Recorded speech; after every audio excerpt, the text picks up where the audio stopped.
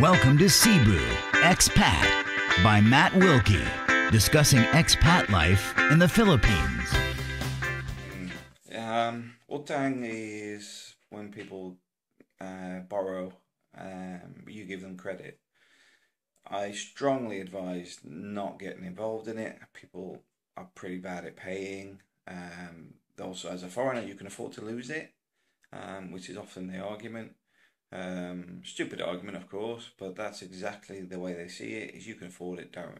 Why are you worrying about it? Um, it's a bit of a bad attitude on it when the, when people um, come to repay, etc., and aren't going to repay. So the best way to do it is quite simply don't give people credit. Um, in our store, we don't give credit. Simple as that.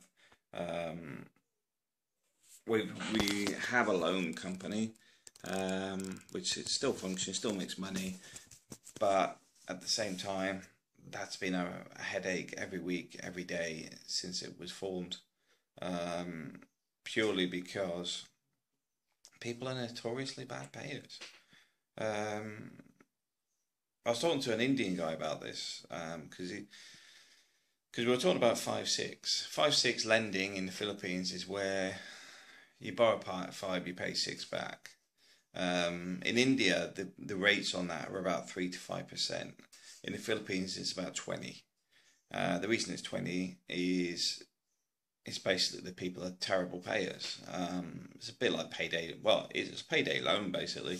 Um, and we were just saying the problem is the Philippines doesn't help itself in that case because it's notoriously bad at paying debts, which means its interest rates are always stupidly high, which in turn makes it um,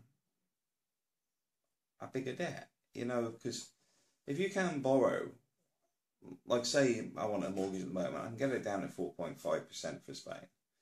Um, if they know I'm never going to pay it back on time and likely to pay some, they might do it at 25% because the fact is they know that the first payments will actually end up recovering my debt before I stop start defaulting. And that's the whole business model, you see. Because the fact is they know people will pay so much, then it'll start going pear-shaped. And when it goes pear-shaped, what happens?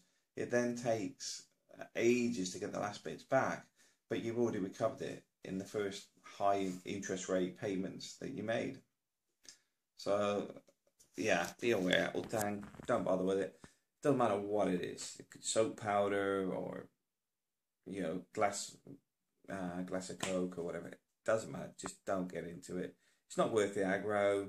Um, because when you start hassling people once they've upset you because they're they're, they're not going to pay it, um, they lose face. You don't like them anymore. Um, and in the West, we say never lend to family.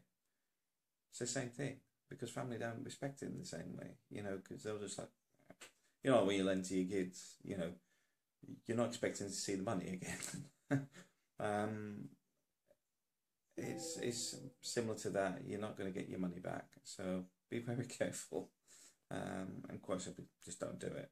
It's not worth the aggro because you can have fallings out over something where all you have to say is when they want to borrow X, Y, Z, I can't afford it don't have the spare money, whatever. Just make an excuse because it soon passes when you won't give it to them. Thanks for watching.